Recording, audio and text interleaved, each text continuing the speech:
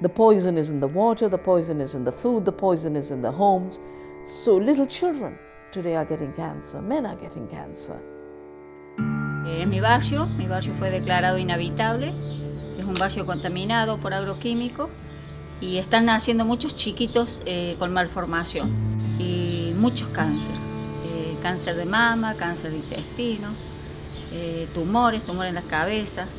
Te digo que nosotros lo hemos, lo hemos sufrido y lo estamos viviendo.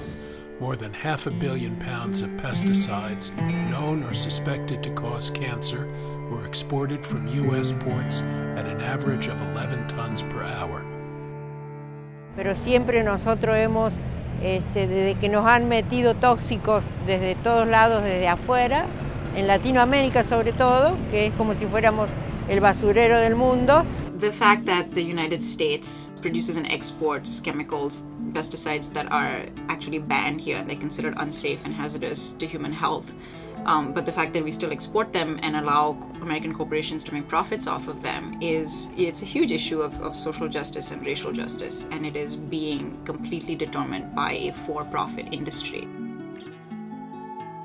More than 30 years after I left the White House, the issue is still unresolved.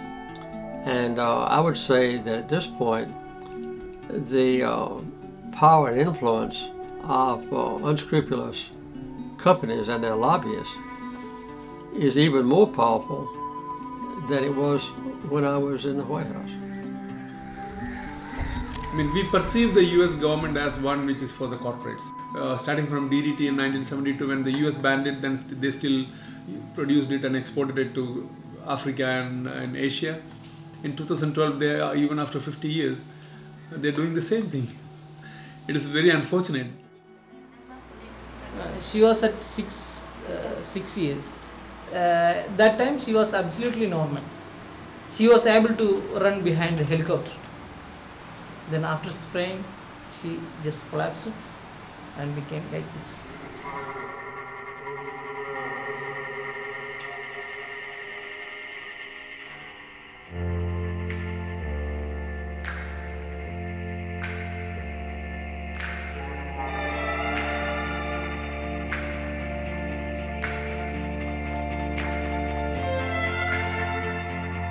If you cause a financial crisis, you can run to the taxpayer to bail you out. If you destroy the environment, there's nobody to run to. Blackwater.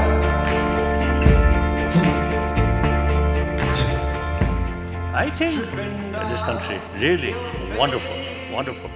However, huge gap rich and poor. Uh, then those richer people only concern profit. I think a truly capitalist so thinking, just profit, profit.